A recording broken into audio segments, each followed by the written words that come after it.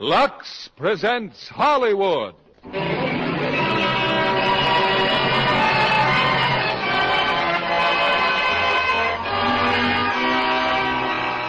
Lever Brothers Company, the makers of Lux Toilet Soap, bring you the Lux Radio Theater, starring Dana Andrews and Anne Baxter in Where the Sidewalk Ends.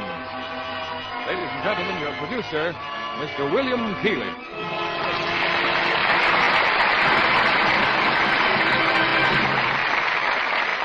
Greetings from Hollywood, ladies and gentlemen. The immediate reaction of an innocent person involved in a crime is said to be one of panic, the desire to cover up or run away. Fortunately, most people resist this very human impulse and instead turn to their police departments, which have just as many ways and means of proving a man innocent as proving him guilty.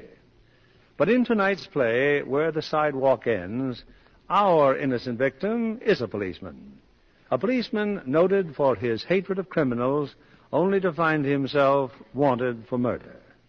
Starring in his original role, we have Dana Andrews, whose characterizations are always noted for their sincere artistry. And co-starring with him in this exciting 20th Century Fox drama is Anne Baxter, another artist of undeniable talent and beauty. Well, the excitement of the Academy Awards is over. But I'm sure that if you'd been on hand to cheer the stars as they made their glamorous entrances into the theater, you wouldn't forget such a galaxy of Lux beauties for a long time. Hollywood stars are Lux Lovely because their award for complexion care goes to Lux Toilet Soap. Here's Where the Sidewalk Ends, starring Dana Andrews as Mark Dixon and Anne Baxter as Morgan Taylor.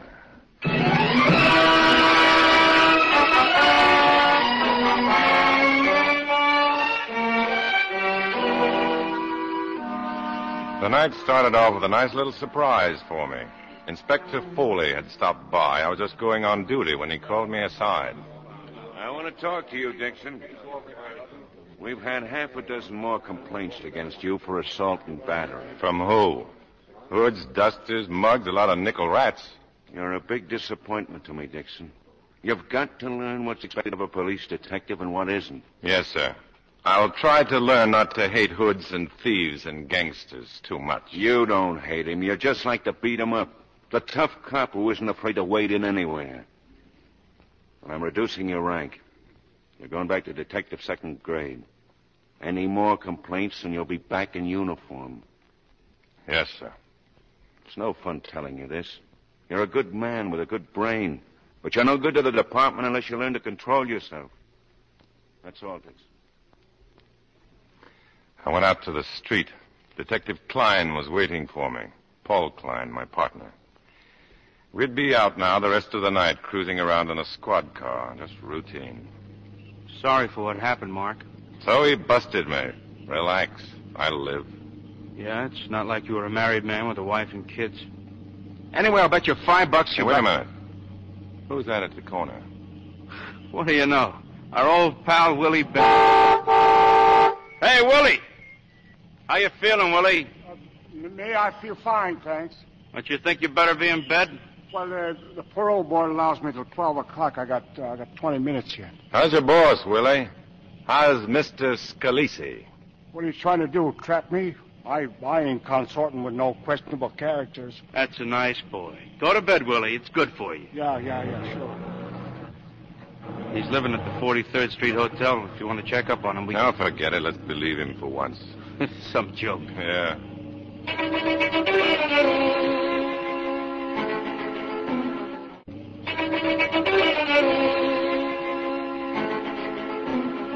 No, we didn't check Willie Bender. It's too bad. Oh, he went back to his hotel, all right. But he went up to the eighth floor. A dice game was going on, and the host was a man named Tommy Scalise. I, I thought I'd better stop by, Tommy. I just bumped into Dixon and Klein. They give you any trouble? No, no, no, no trouble. Uh, who, who's at the table? Somebody Payne picked up, a Mr. Morrison from Texas. He's very rich and getting richer. He's winning? And I'm not very happy about it. the girl uh, with Morrison? No, she's with Payne. He brings them both here.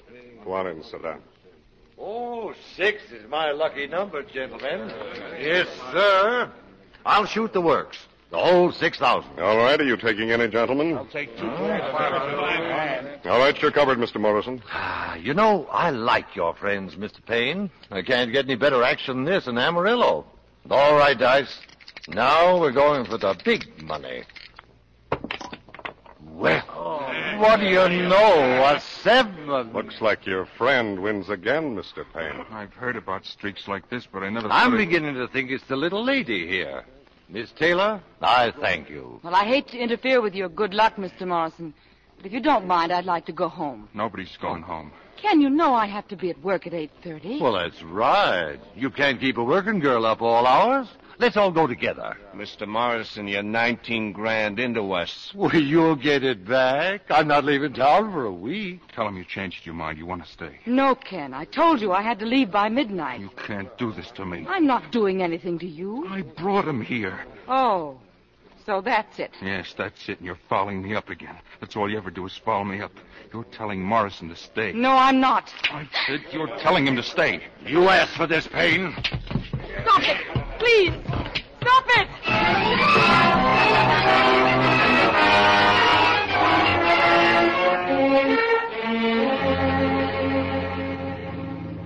The call came in over the radio. Homicide.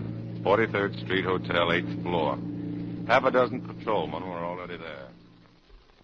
His name's Morrison, Payne. Big Barracuda. He was dead when we got here. Knife wound. Nobody did it. Nobody saw it. Morrison's got a cut on his knuckle. Looked like he hit somebody hard. Who runs this pawn, Sergeant? Tommy Scalise.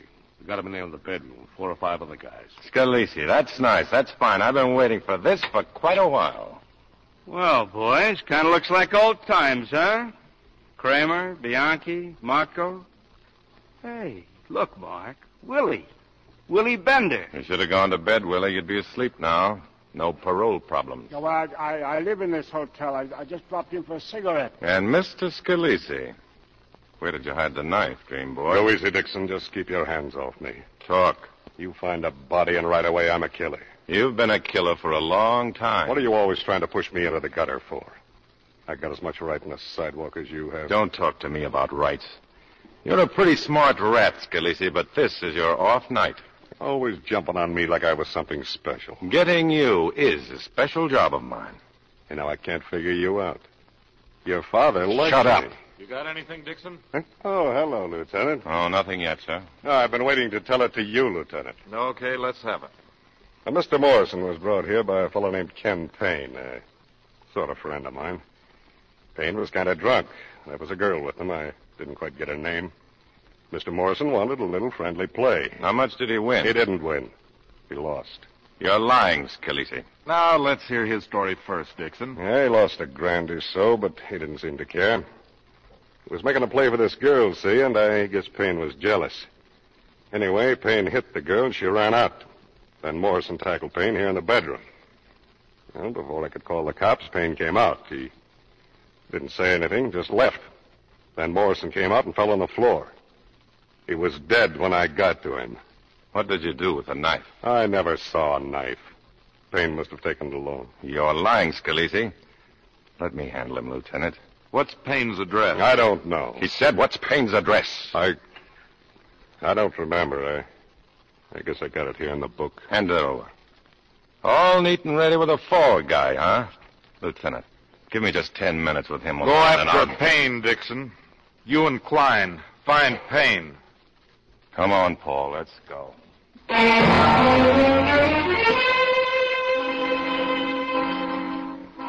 I went to Payne's place alone, so Klein could do some snooping around on his own. We'd save time. The address was a rundown apartment house. Next to the entrance were a few steps leading down to a basement apartment. I could see an old lady sitting there by the window knitting. Payne's apartment was on the ground floor. I was about to knock when I heard a voice inside. We'll Call his room, will you? Morrison. Ted Morrison.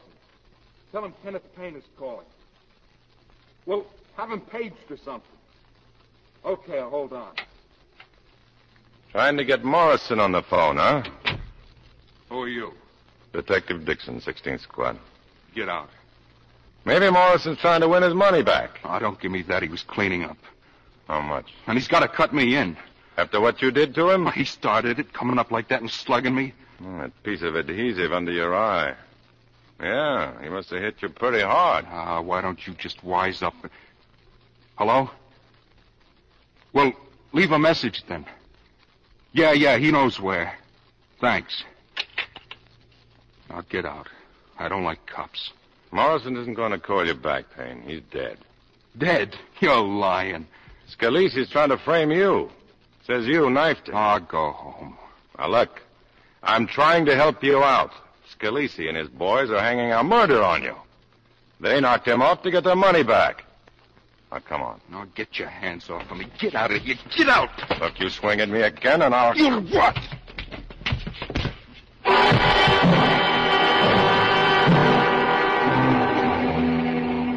He didn't move. I thought at first he was faking, and I felt his pulse. But I knew before I touched his wrist, he was dead. Dead. And I'd killed him. And then suddenly the phone was ringing. Hello? Mark, this is Paul. Did you find Payne? Can you hear me? I said, did you find Payne? Hmm. No, no, he isn't here. I picked up some stuff on him you should know. If you find him, go easy. He's a war hero. Got a hat full of medals and a lot of newspaper friends. I thought I'd better tip you off just in case he starts getting tough. You still gonna wait for him there? Yeah. Yeah, I guess I'd better. I'll call you back later. Okay. This was it. End of the line. I couldn't control myself, the inspector said. And now I'd killed a man. It was an accident, a mistake, sure. But who would believe me? Who would believe me now? And then as I stood there, I saw the way out.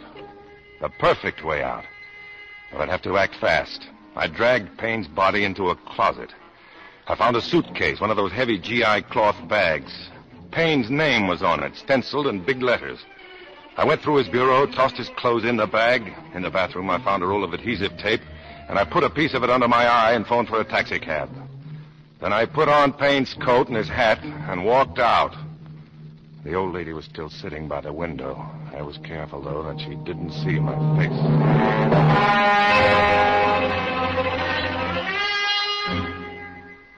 I took the cab to Pennsylvania Station and bought a ticket for Pittsburgh.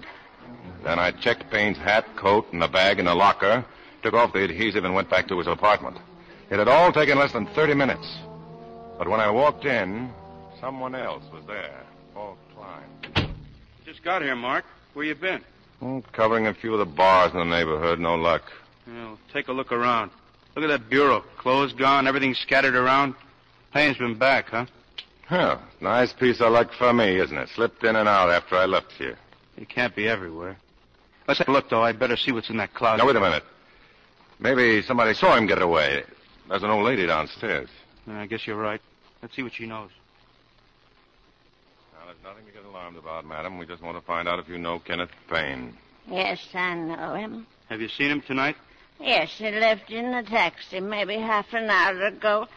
I must have fallen asleep, and when the taxi comes, I woke up. I saw Mr. Payne go away. He had the suitcase. That's all we wanted to know, madam. Thank you very much. He's running for it, huh? Yeah, we'll get him. You cover the yellow cab stands around the neighborhood for the driver. I'll cover the independent garages and meet you back at the precinct. Oh, uh, I'd better keep the cruise car. Yeah, sure. See you later, Mark. I drove around for a few minutes and then I came back to Payne's apartment. The old lady downstairs had pulled the shade and turned out her light. All I needed was a minute, 60 seconds to get Payne's body out to the car. I got as far as the hallway when I heard a car door slam. Someone was coming in from the street. I barely had time to hide behind the stairway.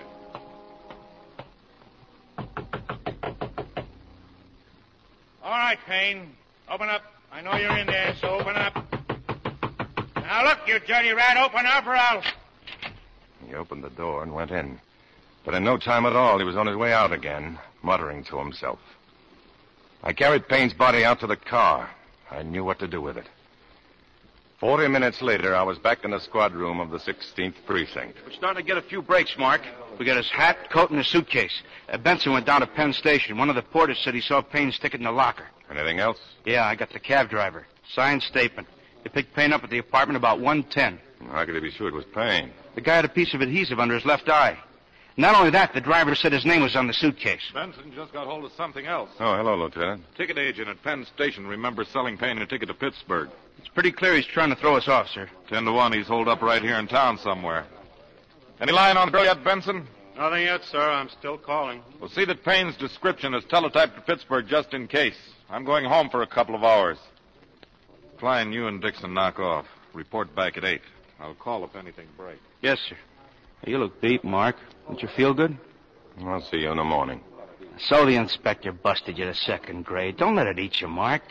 Go on, get some sleep.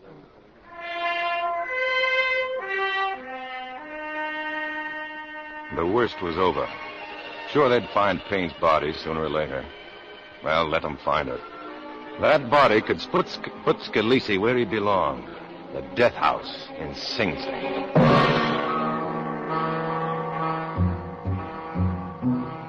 It wasn't until the next afternoon that we ran down the girl. Her name was Morgan Taylor, a model for a dress manufacturer on 8th Avenue. Sit down, Miss Taylor, won't you? Your boss said we could use his office here. Were you with Kenneth Payne last night? Yes? Have you been in touch with him today? No, no, I haven't. From what we heard, miss, you're pretty well acquainted with Payne. Yes? How well? Would you tell us, please? I'm his wife. But you're living with your father up in Washington Heights. Ken and I separated some months ago. Well, what happened at Scalise's hotel suite last night? May I ask why you're asking me all these questions? We'd rather tell you afterward, if you don't mind. Well, Ken was drinking and we had a quarrel.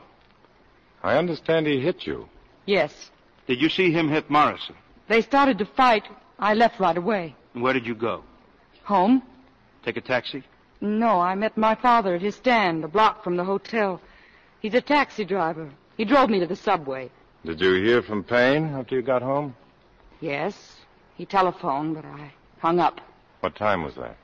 About uh, 12.30, I imagine. Did he phone from his house? No. Well, how would you know if you hung up? Because my father went over to Ken's place after he dropped me. Ken wasn't there. What did he go there for? Really, is this necessary? We think it is, Miss Taylor. Well, I. I wasn't going to tell my father anything, but I was crying and he noticed the bruise. What did he say? He was very angry. He told me before that if Ken. Well? That if Ken ever hit me again, he'd show him what a real beating was like. Miss Taylor, Morrison was killed last night. He. he what? At Scalise's place, shortly after you left. And you're looking for Ken because you think he did it? When did your husband start getting jealous of Mr. Morrison? Jealous? Oh, but that's silly. I hardly knew Mr. Morrison. But you went out with him. No, no, no, I didn't. Ken called me up and asked me out to dinner. You just said you were separated. Yes, but he kept insisting, and I. Well, I felt sorry for him. And after I met him, Mr. Morrison was with him. After dinner, Ken took us to the gambling place, and then I realized that all he wanted me for was to use me as a sort of decoy to help get Mr. Morrison there. It was sinking pretty low, I thought. Poor Ken. He must be desperate for money. Why did he hit you? Because I wanted to go home. But he didn't want Mr. Morrison to leave. Why not? Because he'd won a great deal of money. I think they said about $19,000. Thank you for the information, miss. We won't bother you any longer.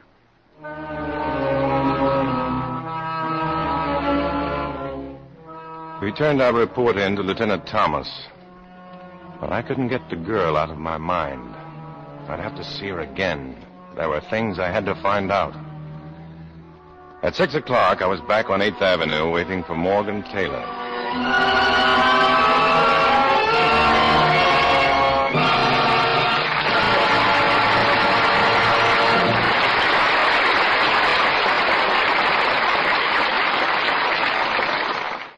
Now, Mr. William Keighley, our producer. Act two of Where the Sub- Sidewalk Ends, starring Dana Andrews as Mark and Anne Baxter as Morgan.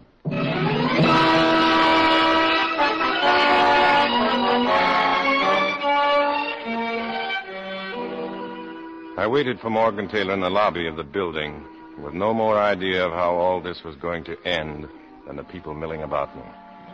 Morrison was dead, murdered. And as sure as I was standing here, Scalise had killed him. But Kenneth Payne was also dead. Two of a kind, Scalise and I. Well, we'll be on time. Don't worry about it. Oh, hello, Mr. Dixon. Well, did you find Ken? No, not yet, Miss Taylor. But you think I know where he's hiding, is that it? Where are you going now? I'm going home. Do you mind if I come along? That's a nice way of putting it when you're out to give me the third degree. No, this is no third degree. This is strictly off the record. Are you having dinner with anyone? Are you inviting me? Yes. Well, if you don't mind my going home first. This way, Mr. Dixon. We'll take the subway.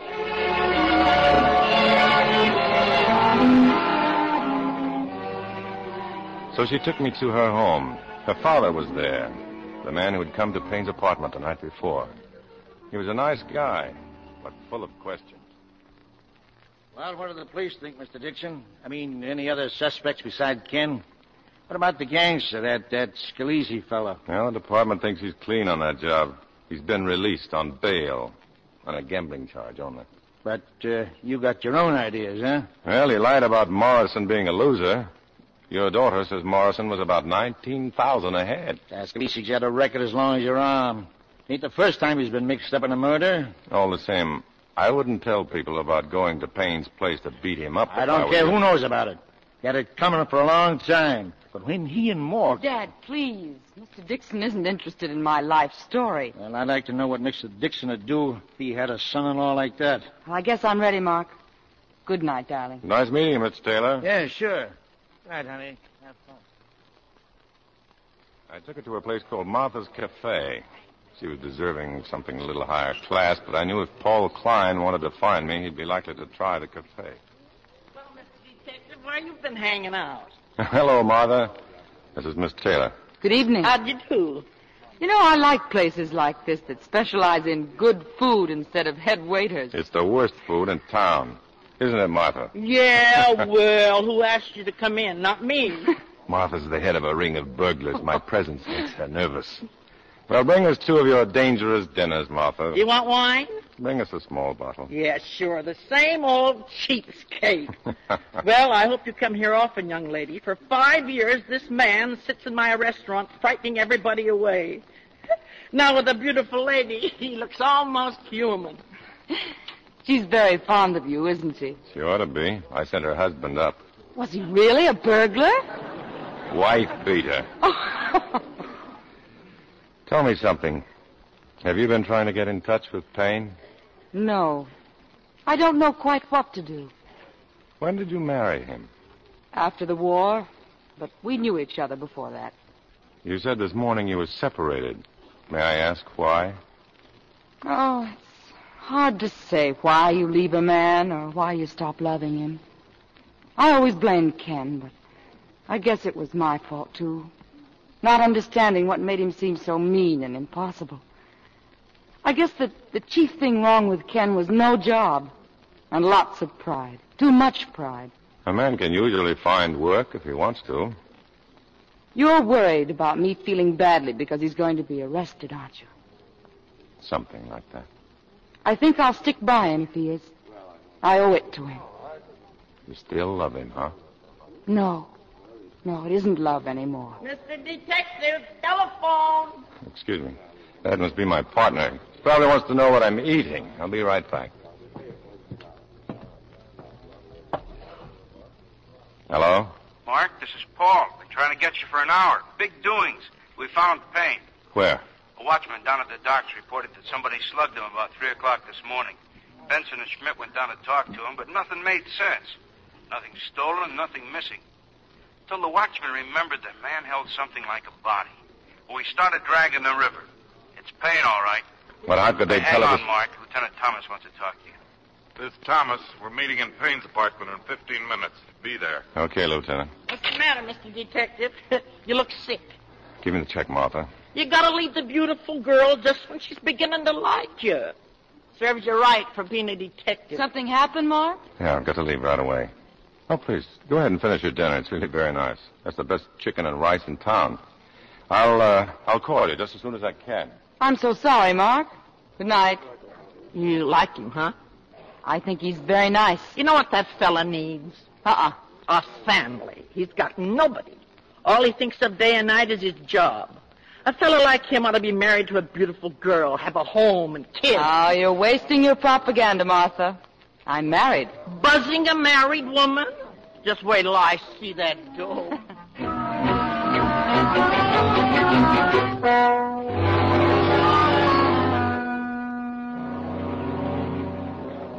When I reached Payne's apartment, they were all in a hallway. Thomas, the medical examiner, Klein, half a dozen other detectives. They discovered something in back of the stairway. A blood stain. Well, boys, that clinches it. Payne was killed there in his room. Somebody came in and slugged him. He fell to the floor. He had a silver plate in his head, the result of a shrapnel wound in the war. The fall must have killed him. Yeah, it all adds up, Lieutenant. The killer was trying to get the body out when someone opened the front door. That was probably you, Dixon. Yes, sir. So he ducked behind these stairs with the body. That accounts for the bloodstain on the wall. It also establishes the time of the killing is between 12:30 when Payne must have got here and 3 a.m. when the killer knocked out that watchman at the dock. But there's there's just one thing I don't understand. Dixon, I just don't understand why you didn't see him. You were here at 12:50. Klein spoke with you on the phone. Oh, that's right. Well, Payne left here at 1:10. That's when the taxi picked him up. You must have practically passed each other. Well, he wasn't here, so I had a look in a couple of bars. The guy on the lam was going to be sitting around bars? What time did Dixon get back here, Klein? About 1.50, sir. And you left right after that? That's right. We started chasing Payne. But he lays a fake trail. He goes to Penn Station and then straight back to this apartment. The police have been here, he figures. They won't come looking again. Say, say, what time did Jiggs Taylor say he was here? About 2.15, sir. That pretty well puts the finger on him, Lieutenant. Yeah, he was crazy angry, according to his daughter, ready to knock Payne's block off. Hey, you're wasting your time on Taylor. Scalise did this. You're way off base, Dixon. I'm telling you, Scalise knifed Morrison, then he was afraid Payne would talk. So he sent someone after him to finish him off. That doesn't stand up at all. Whoever killed Payne killed him by accident. No Scalise hood would have taken a chance on a fist fight. He'd have knifed Payne or shot him. Excuse me, Lieutenant. We got Jiggs Taylor and his daughter outside. Bring them in. Well, boys, I think we can wrap the case up tonight with statements from both of them. I'm Lieutenant Thomas, Miss Taylor. How do you do? Evening, Lieutenant. Well, I was expecting this, as I told the boys on the way down. Daughter phoned the house just as we got there, Lieutenant. We asked her to meet us here. Well, the minute they told me Ken was murdered, I knew I was in for a going over. Well, I was here, all right. Well, go on. Let's have the rest of it. Well, that's all there was. The door was unlocked. I walked in, looked around, nobody home, so I walked out. With his body. You took the body to the river, knocked out the watchman, and dropped Payne in the water. Oh, so I knocked out a watchman, too, huh? That's fine. Now, let me tell you something. I didn't see Payne. If I had seen him, I'd have taken a poke at him. I ain't denying that. But I left this place a minute after I got here. And I picked up a fare on the corner, Congressman Reynolds. Took him to the Astor Hotel. And what time do you claim you got to the Astor Hotel? About 2.40. Excuse me, Lieutenant. Well, Dixon. The watchman was slugged at 3 a.m. That gives Mr. Taylor 20 minutes between 2.40 and 3 o'clock to come back here from the Astor Hotel, kill Payne, lug the body out to his cab, drive down to the pier, and slug the watchman. He couldn't have done it, sir. Not in 20 minutes. We could be wrong, Lieutenant, especially if the congressman backs up his story. But we're not wrong. All right, so he picked up Congressman Reynolds. But all the while, Taylor had Payne's body in the back trunk of the cab. Oh, that that's crazy. He leaves the Astor Hotel, drives to the pier, slugs the watchman, and drops Payne's body. Twenty minutes was plenty of time. Payne was out of here at 1.10, according to the old lady downstairs. We're just wasting time. Well, I don't happen to think we are. As for the old lady, we're going down there right now and talk to her. Come along, Taylor.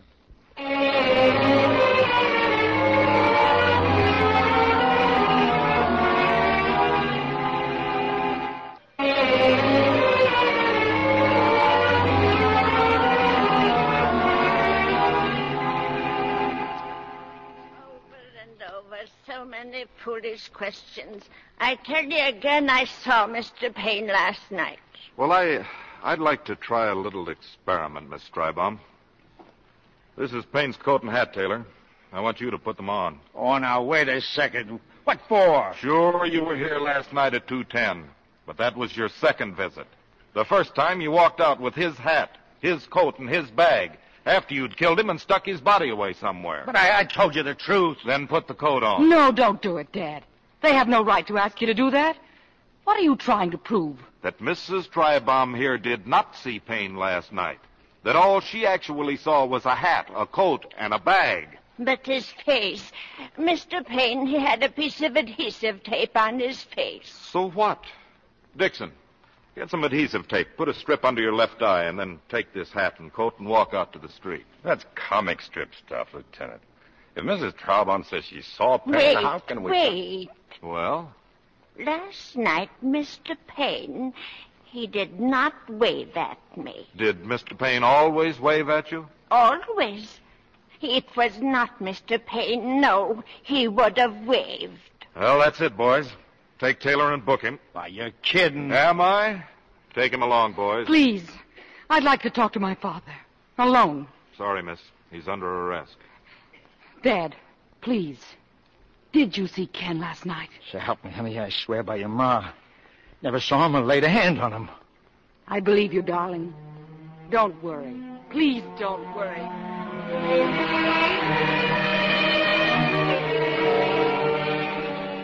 In a moment, they'd all left. Just Klein and me standing there on the sidewalk. Well, he got a hand at the Thomas, huh? He sure wrapped this one up quick. Mm, Stop talking like an idiot. He bungled it. Oh, now, wait a minute. That's not fair. Don't tell me what's fair. I know Scalise did it. Scalise did both jobs, Morrison and Payne. You can't go against the facts, Mark. I'll bet Taylor admits everything. Hey, where you going? I'm going to find Scalise and get it out of him. Now, wait a minute, Mark. You know the boss's orders. Let go of me. Look, I'm giving it to you straight, like a friend. I don't like to see you made a monkey of by a girl with a pretty face. You got a record to protect. You're as dumb as Thomas. Come on, get in. I'll drive you home. You're driving me nowhere, you dumb lug. Now let go of me or I'll paste you. Okay, Mark. Okay. I guess you know what you're doing. I found Scalise sooner than I expected. A Turkish bath. He was in the rubbing room getting a massage. A few of his friends followed me in. I tell him we're closed for the night, Mr. Scalise, so he gives me a shove and walks right in. Well, must be important, uh, Mr. Dixon. Get dressed, Scalise. When I'm ready, Mr. Dixon. I said get dressed. Now, wait a minute. I'll give you one warning. Just don't touch me again. Why not?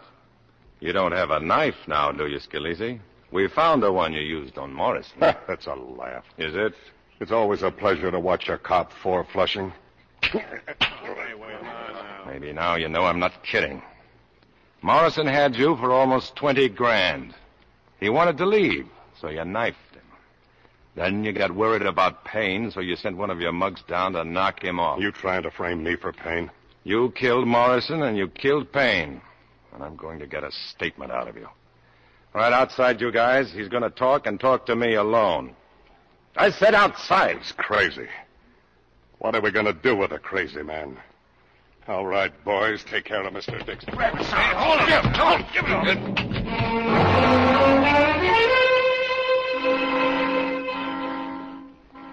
I'd known what my chances were when I went looking for Scalise. I got just about what I'd asked for. Was still half dazed when I found myself uptown, knocking on the door of Morgan Taylor's apartment. Mark! If you don't mind, I, I'd like to talk to you. You're, You're hurt. What happened? I could use a drink. Sit down. Where the devil am I? I keep coming and going. I don't know why I came here. I'm sorry. I'll, I'll go. You can't leave like this. Here, drink it. Thanks. Why did I come here? I must have had something on my mind. What happened? Uh, A run-in with Scalise and his pals. What? Shouldn't I call the, the police? No, no. Leave the police out of this. I made a big idiot out of myself tonight.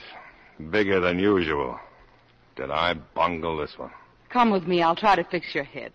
I suggest you use an axe. Why did you fight with Scalise, Mark? Did it have anything to do with my dad? In a way, yes. You don't think Dad did it? Well, what, what I think doesn't matter a row of nickels. The important thing is that you need a lawyer. Yeah, I guess that's what I came here for. You need a big-time lawyer. Here, hold this bottle. One that can't lose. But if Dad's innocent, I don't see why... Innocent we- people can get into terrible jams, too. There's one false move, and you're in over your head. How much money you got, you and your father, for a lawyer? None. No savings? Very little. Hmm. Payne got that, too, huh? Yes. Now hold still. Oh, Mark, you look just awful.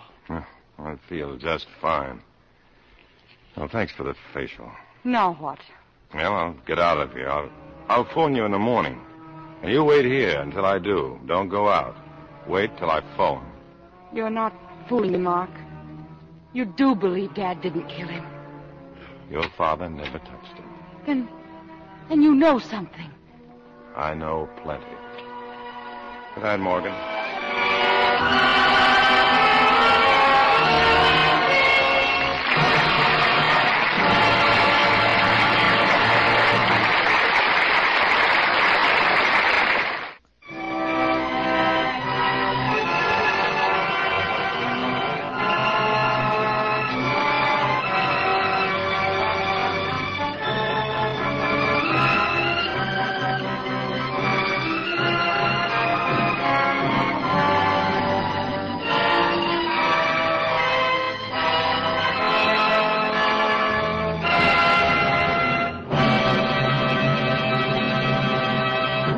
Curtain rises on Act Three of Where the Sidewalk Ends, starring Dana Andrews as Mark and Anne Baxter as Morgan.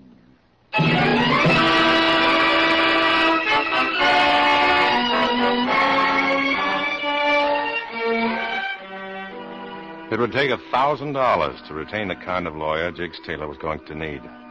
I got the money out of the bank and phoned Morgan.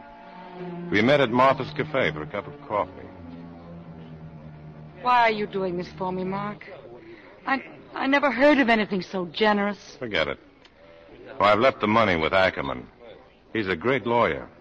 He'll see you later this afternoon around 5.30. Did anyone ever tell you you're a very unusual person? I doubt if your boss would agree. Or doesn't he care if you run out like this? I didn't tell you, did I? He fired me. I'm the notorious Morgan Taylor. Bad for buyers. Might take their minds off the dresses. Sorry to bust in, Mr. Detective. Uh, there's a phone call for you. Well, you want to answer it? No, I'm busy, Mother. Oh, it's wonderful the way he looks at you, Miss Taylor. He hasn't even touched his coffee. he just drinks you up like with his eyes because you're so beautiful. Ah, cut it out. What's the matter? I'm trying to help you. You don't even know how to talk to a girl. Look, if somebody's waiting on that phone, It's you'd better Mr. get out. Klein, Mr. Klein. Somebody named Inspector Foley is looking for you. Well, um, I'll tell him you're not here. Thanks. I, I guess I'd better check in, Morgan. I, I may be a little while. If I were you, I'd go right over to Ackerman's office now. It may even be better if you see him alone.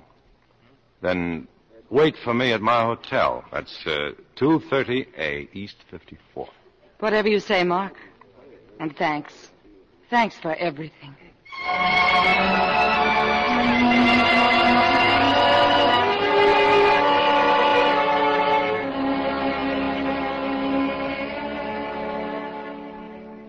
You wanted to see me, Inspector? Well, you're a fine looking sight. Who beat you up? Oh, it was was just a personal affair, sir. Scalise and his friends, huh? We know all about it, Dixon. Klein picked up one of Scalise's men, Steve Marco. We're going to hold him for a while. Yes, sir. The lieutenant here says you had orders to let Scalise alone. Well, I thought I could get a statement out of him. Well, you didn't, did you? And now your bullheaded tactics have driven him to cover. It'll take us days to find him. I'll find him. You'll find nobody. I'm not throwing you out of the department like I should, but I'm inviting you to take one week of your annual vacation beginning as of right now. I don't want to see or hear of you for a week. Yes, sir. That's all, Dixon. Get out. And he's got a point, Thomas. You shouldn't have let Scalise go, even on bail, until the Morrison job was cleaned up. Well, it uh, looks so certain that Payne had done it. And get to work on that hoodlum Klein brought in. Steve Marco, huh? I've got a hunch he'll talk if you keep at him. And try talking to him like Dixon would. Yes, sir. I went back to my hotel and waited for Morgan. It was easy to see that something had happened. She'd been crying. Here. This is yours, Mark. What is it? Your thousand dollars. Mr. Ackerman won't take the case. Oh. Well, there are other lawyers.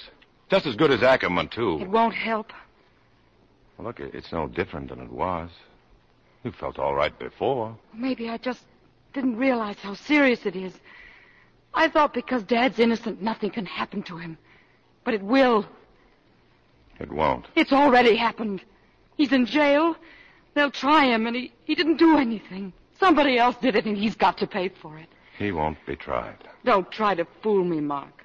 Ackerman didn't take the case because he was afraid of losing it. I'm not fooling you. Nothing's going to happen to your father. Why? How can you be so sure? Because he didn't kill Payne. And you can prove he didn't. Yes, You do know something you haven't told me. That's right. Oh, what is it? Oh, please. It's it's not fair to stand there and not tell me. Even if you have to break some police rule. If you know something, Mark, I can't stand thinking how he feels. He's never done anything wrong. You don't know him. He's sweet. He's he's kind. He's always felt that everybody was his friend. Now he's in prison like a criminal. You don't know what it is to have your father in trouble. My father was a thief. He's dead now. He died when I was 17, trying to shoot his way out of jail. I've worked all my life to be different from him. Oh, Mark. Darling, I didn't know. You'd better go home, Morgan. Why? Because you're you're a sucker for wrong guys. Like Ken and me. You're not wrong. I trust you, Mark. I'm glad you told me about your father. You're not like him, I know it. Thanks. Anyway, I've figured out what to do. Just don't ask questions. You're leaving? Now? Yeah, I'll be back. Why don't you lie down? Try to get some sleep. You're worn out. But I'm not afraid anymore. Everything's going to be all right, isn't it, Mark? Sure. Everything's going to be fine. I'll wait for you, Mark.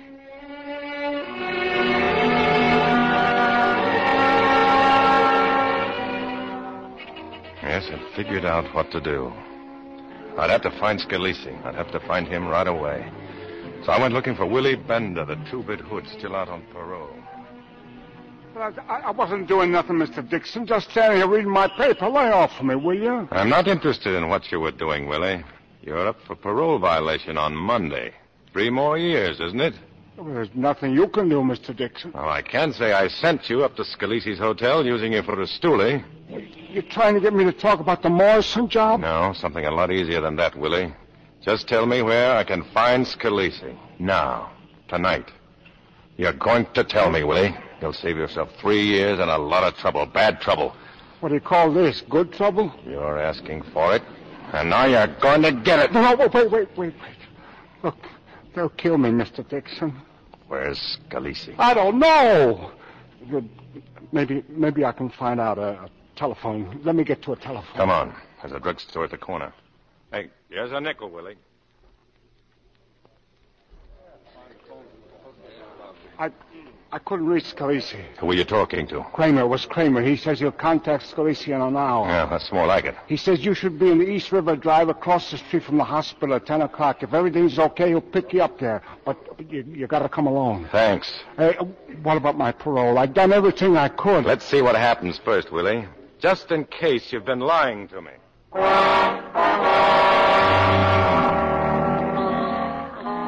Back at the hotel, I asked the clerk to call a messenger. I was going to write a letter, and I wanted it delivered quickly. I went to my room. Morgan was asleep on the sofa. I sat down at my desk and wrote the letter.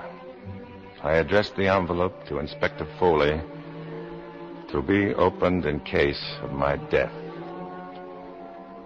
I walked over to the sofa. Morgan. There was so much I wanted to say to her, but nothing I could say. At 10 o'clock, Kramer was waiting for me on the East River Drive. Come on, Dixon. Get in the car. Wait a minute. Who's with you? A couple of friends. Scalise? No, but he's willing to see under certain conditions. What conditions? You gotta park your gun. Okay, here. What else? I gotta frisk you. Well, do it in the car. We're wasting time. It's all right with me, Mr. Dixon. Let's go.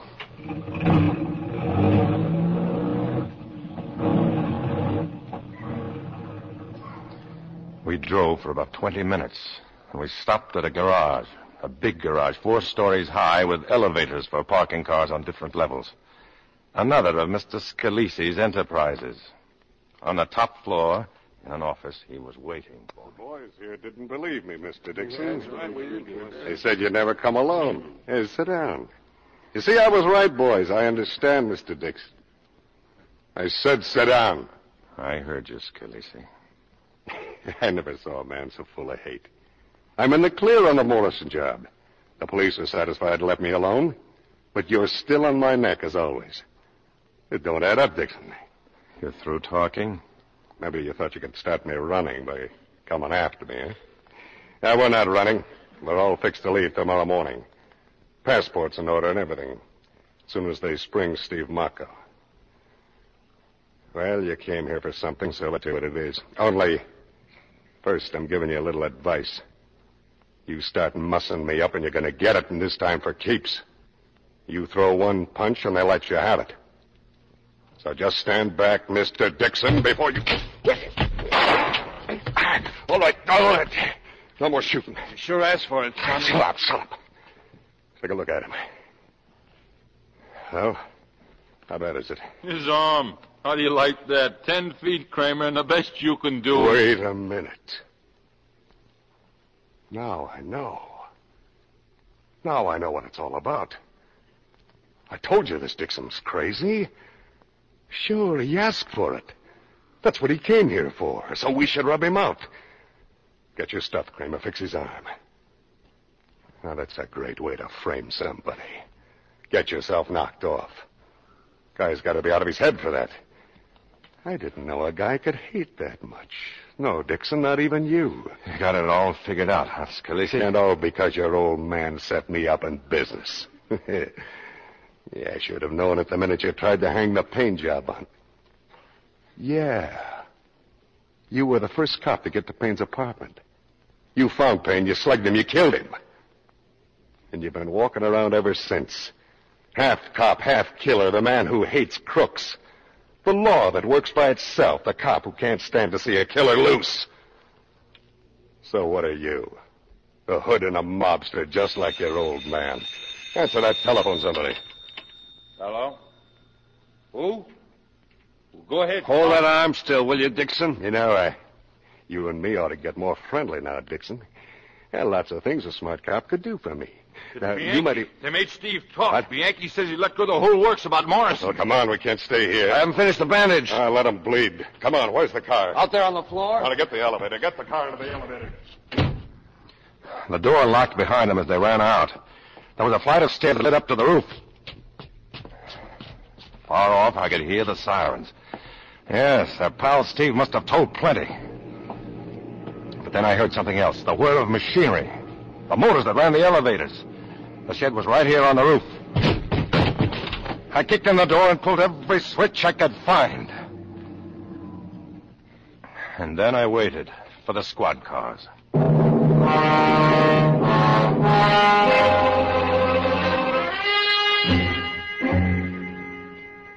Come in, Dixon. Come on in. Well, what's the doctor say? Well, says that I'll have to learn to eat with my left hand for a while, sir. It's just flesh. Morgan. Mark. Mark, are you sure you're all right? What are you doing here? They're letting my father go, Mark. I don't know what to say, but thank you. You can't change, can you, Dixon? Always breaking orders. Always doing things your own way. Well, you know we got Scalise. Yes, sir. Lieutenant Thomas told me. He's confessed to the Morrison murder. I think he's ready to talk about the Payne killing, too. This time I gotta hand it to you. Thanks, Inspector. Well, I'm putting you back where you were, recommending you for promotion. Oh, and here. Here's your letter back. Since there was no report of your death, I didn't open it. You expected to die? I don't think he knows what he expected, Miss Taylor. He was pretty sore at me when he wrote this. I think he's in a different mood now. Dad's waiting, Mark. Will you come home with us? Go on. Take a rest till that arm heals. I'd like you to open the letter, Inspector. Now. You sure? Yes, sir. I'm sure. Mark, what is it? Read it, Inspector. Out loud. Hmm. I uh, didn't have the courage to tell you this while I was alive because I didn't want to end up like Sandy Dixon's kid. That's what every hood in New York calls me, Sandy Dixon's kid.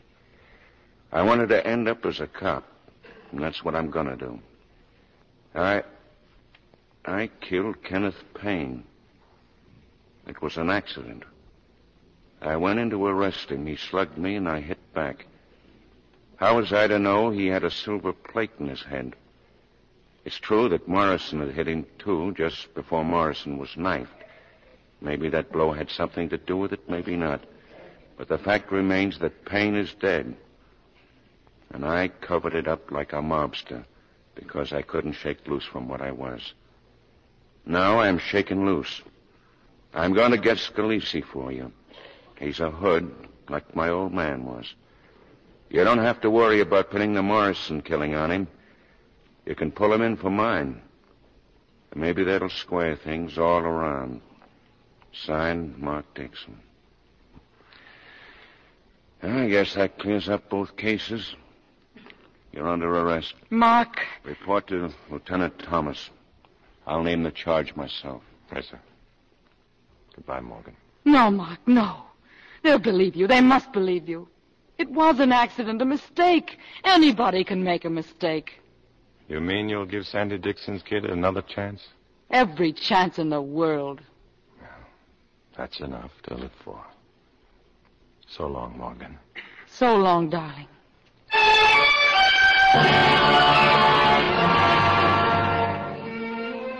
Inspector, please. It's wrong to arrest him. You don't have to. Please. I have to. Just the same as he had to. But he's got a chance, Miss Taylor. You and I are going to make a pretty good pair of witnesses for him. He's got a fine chance. Thank you, Inspector.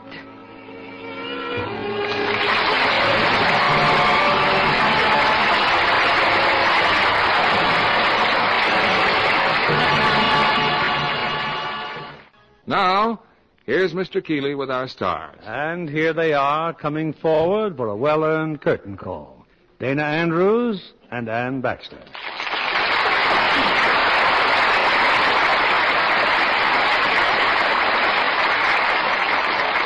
Well, Dana, have you been cruising in your catch lately? Uh, fishing again at Ensenada, Mexico? no, Bill, I've been in the water and under it, but not on it.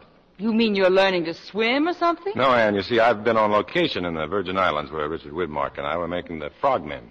The frogmen? Don't believe I know any. no, Anne, they've been kept pretty secret.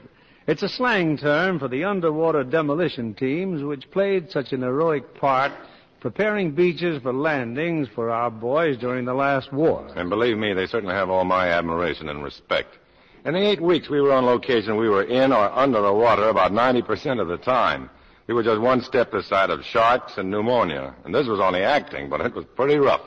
That's because you're always making pictures about some branch of our armed forces, Dana. You know what those fellows go through. Personally, I'll just follow the sun. You mean you let the sun shine on a beautiful complexion like yours? Oh, don't worry, Bill. I take the very best care of my complexion. That's why I'm a Lux girl. But I was talking about my new picture at 20th Century Fox. Follow the Sun. Well, that's where Glenn Ford plays the part of Ben Hogan, the famous golfer, isn't That's it? right. And I'm Mrs. Hogan. Whether you know anything about golf or not, Ben Hogan's wonderful comeback should serve as an inspiration to everyone. Yet I think it proves the individual is every bit as important as a team. At least he is in this country. And what are you presenting here next week, Bill? An individual or a team of stars? Next week, we'll have another exciting story of suspense and intrigue. It's the David O. Selznick production with a very famous theme music, The Third Man. As our stars from the original cast, we'll have Joseph Cotten. And as his co-star, a fine actress, Evelyn Keyes. You won't want to miss this thrilling manhunt through Europe for a murderer. We'll be listening, Bill. Good night. Good night, and all our thanks.